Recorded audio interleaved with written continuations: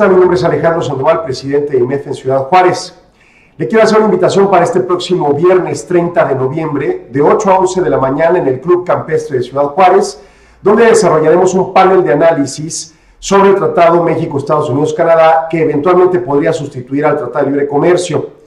Estará con nosotros Jesús Cañas, economista de la Reserva Federal, y su servidor discutiendo sobre las visiones estadounidenses y mexicanas acerca de este acuerdo. Reitero, viernes 30 de noviembre, 8 a 11 de la mañana, aquí en el Campestre de Juárez. La información de contacto para registros aquí en este video. Agradezco su atención. Los esperamos.